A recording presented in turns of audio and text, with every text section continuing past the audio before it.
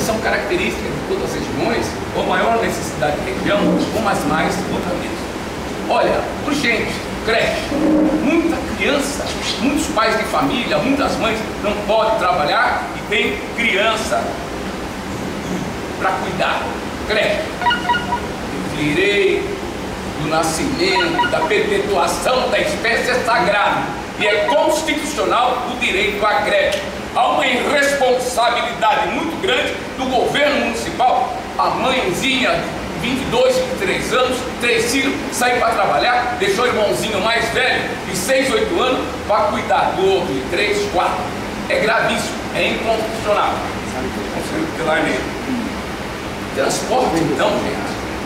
Transporte grave. Não fazer aqui, vir aqui, vir aqui. Uma sugestão. Vamos fazer um levantamento daqueles que trabalham um exemplo aqui Zona Leste, essa região. Trabalha próximo ao Parque Dom Pedro, tem três, quatro filhos, dois salários mínimos, ó, você vai ter um passo. Então, desta região, todos os dias, principalmente em períodos de horário de pico, vai sair X ônibus. Cidade Tiradentes ou, Aricanduva, sei lá, até o Parque Dom Pedro. Passe gratuito, olha que beleza. Quantos vão chegar ao Parque Dom Pedro? O transporte, um direito para esse pessoal. A guarda metropolitana é fachada. Guarda o quê? O pessoal, Cracolândia, Cracolândia. Dá uma olhada aqui nas praças e jardins. Onde estão, com, com todo respeito, os coitadinhos marginalizados, que são, que são, que são aí, que chamam de noia. Estão nas praças e jardins. Cadê a atuação da guarda metropolitana? Então os postos avançados da guarda metropolitana, onde estão? Cracolândia. Ah, porque a Cracolândia é internacional, é manjada em todo o exterior, no exterior. Vai virar filme a Cracolândia. Tá, o cara sai da Cracolândia, vindo, onde vai? Vem pra região. Vocês andam aí nos, à beira das marginais, viados, você vê os molecada cheirando crack debaixo do viaduto. Então o problema é só Cracolândia? Na região central. Cracolândia chegou no mundo. Então é legal a gente acabar com a Cracolândia. Está no mundo, todo mundo sabe. Fachada. A questão da Cracolândia tem que ser em toda a cidade de São Paulo. Praça, Jardim. Copa do Mundo, meu Edson. Meu bom. Você viu? Copa do Mundo é depois da Copa do Mundo que vai ficar. É agora! Muita gente comprou um pedacinho de terra, está sendo vítima de especulações imobiliárias, está vendendo de graça, está sendo enrolado naquelas áreas de Taquera, próximo ao Arthur Alvim. Agora que o negócio está complicado. É agora que estão tomando os terrenos dos coitadinhos ali. É agora. Depois a Copa vai piorar. Tem que ter um compromisso. Agora e depois, bem antes da Copa valorizar de verdade, ver aquelas propriedades, ó, não pode vender, cuidado meu senhor, isso, isso, isso. Então, a questão da Copa do Mundo é muito séria, hein? Brasil voltado para o mundo, Ronaldinho, etc. Tal. Mas já imaginou com todo. Legal a Copa do Mundo, inauguração de Itaquera, pô, divino e maravilhoso. Olha, dois, três quilômetros à direita, à esquerda, a oeste, a leste. Depois da Copa do Mundo, tudo isso vai lembrar é gravíssimo. E o sistema de transporte? Uma outra coisa que é muito grave. A prefeitura agora, ela voltou o período de 63, 64, período da Revolução. É coronel agora. É coronel, é isso mesmo? O, o subprefeito é coronel. Sabe por que é coronel? Porque todos nós somos incapacitados. Todos nós não temos capacidade. Então volta ao período da Revolução. Coronel. E todos nós um dia vamos marchar. Eu acho que o prefeito tem que assumir o compromisso com você, com você, com todos, que não tem vagabundo aqui não. É você, você que tem que administrar. É você, você que tem que ocupar este cargo, esta posição. Porque você é farda, você é camisa, você é partido. Coronel, coronel do Maluf, caceta. Coronel da Revolução. Não, não, não, depois. Não, não, não, só, só, não, deixa, deixa, não. Senão meu peito, depois meu Não, depois fala. É, sim, sim. Mas então, coronel, coisa nenhuma. Vocês trabalharam em RH há muito tempo. Você está no meio do povo. Vocês conhecem a necessidade do partido. Coronel que participou do 111 do Carandiru. Está aí. Que vergonha, hein? Muito bem. Uma outra coisa. A falta de respeito com nossos antes queridos que entram em óbito. Como tá os velórios por aí? Barata, rato, sem segurança, velório fedido. Não há o mínimo respeito com os velórios.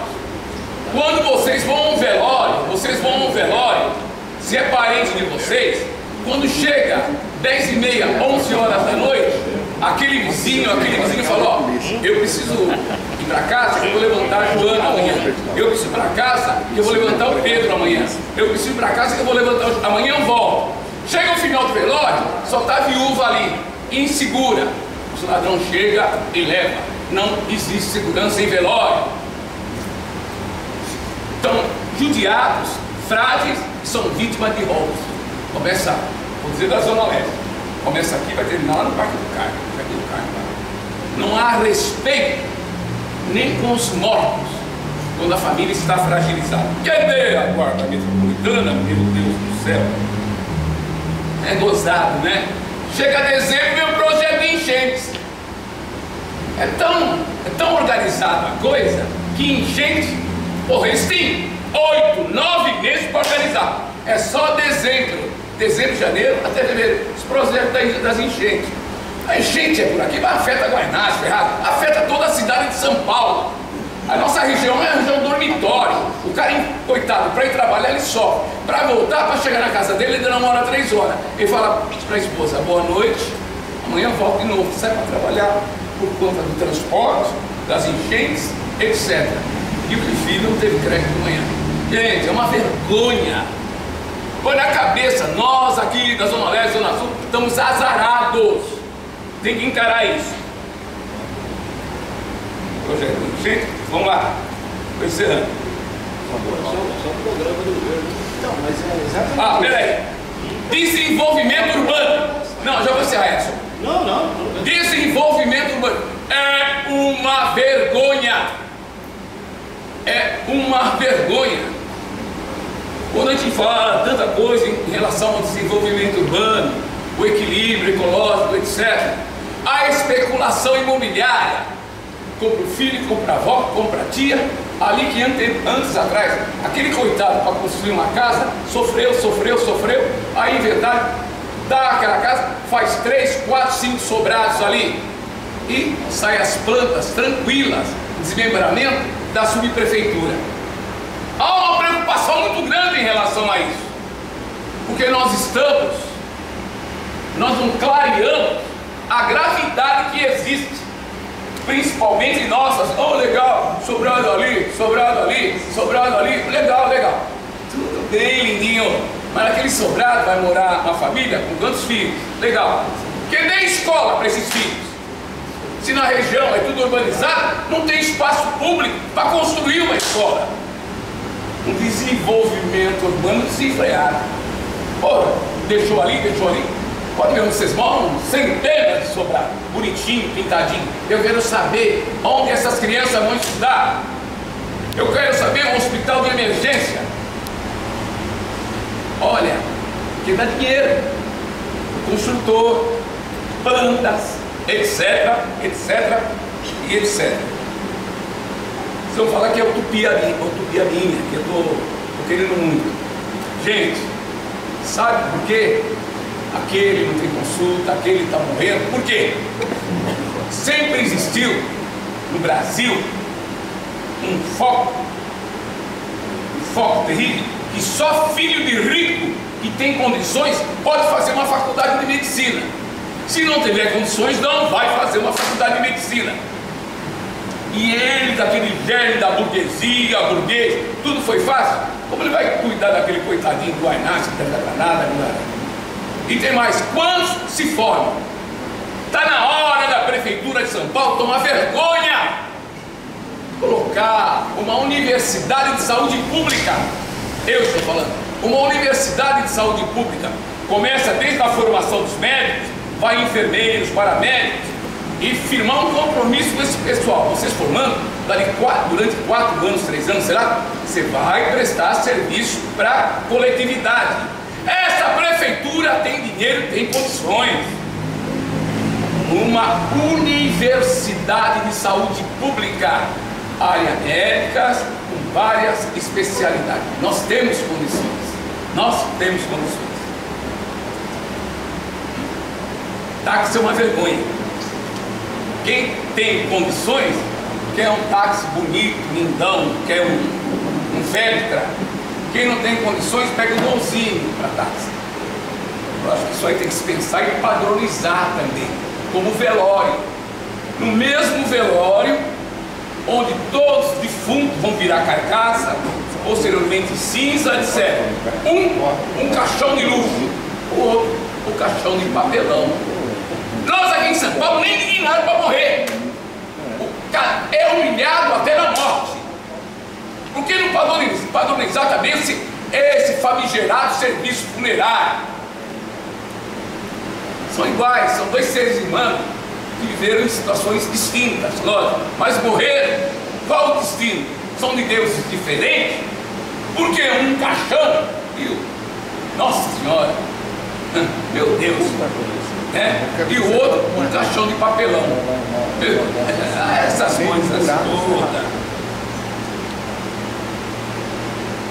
Outra coisa, eu já há muitos anos, eu gostaria que alguém um dia pudesse fazer uma visita na minha escola, que está localizada próximo ao shopping Aricanduva, estou há 25 anos é uma área que é um buraco. Foi 2.400 caminhões de aterro, tudo, etc, etc, etc. Ali ficamos, tal, tal. Como se uma plantinha ali. Mas quando eu olhei, escolhemos do lado da escola, muitos antes, pode ser que de Leão, houve o loteamento da Engaí. Todas aquelas casinhas espremidinhas, você nem pardal você quer cimento para todo mundo lá. Eu falei, meu Deus do céu, isso vai virar, vai virar uma Singapura. Vai virar uma Singapura. Uma das coisas que eu fiz na, na escola, vai ser você não foi lá. Arborizei toda a escola. Bem cada 10, 12 árvores, nós plantávamos uma vindo, mas hoje nós temos lá umas 30, 50 árvores, e na maioria delas frutíferas. E lá eu levei o Sabiá, levei o Bandivi, levei o João de Barro, o Beija-Flor, e toda, toda a escola era arborizada, e fora da escola é uma selva de pedra. Por quê? Já estou não, eu só queria saber se não deu para botar dano. Não, não ensinando. Além do senhor. Ah, sim, você está convidado. Você vai ver, você vai gostar. Vamos gente. Vai, vai. Ó. Aí então pergunta, por que a prefeitura conversar com os bolar um negócio com os agrônomos, vindo agrônomos, na, na, na, na, casa, na frente é difícil, Mário. Mas vê na casa, tantos metros quadrados, na lateral, tentar uma árvorezinha de acordo com a realidade do terreno, realidade do terreno, uma árvore que se adapta ao solo e arborizar esta cidade. Gente, essa é outra coisa, vocês não recebem. Nós sofremos muito aqui em São Paulo, todos nós. Quem não é de São Paulo ama esta São Paulo. Muitos filhos do nordestino, etc. Adora esta São Paulo. A semana que vem nós vamos fazer 25 anos. Vocês não vê desfile, vocês não vê comemoração, patavina nenhuma. Porque a escola municipal não comemora. A escola municipal não comemora. O aluno da escola municipal não conhece a história de São Paulo. Eu fui padre isso é mentira. Foi Martírio de Miriçá primeiro. Não conhece a história da cidade de São Paulo, que é comemorado 25 de janeiro, passa batido. E essa cidade, eu estou dizendo. Então, é, é, nesse todo, gente, eu, se eu posso falar, eu falar até amanhã. Agradeço a oportunidade. E. Eu deixa eu só passar a palavra. Já, já, já.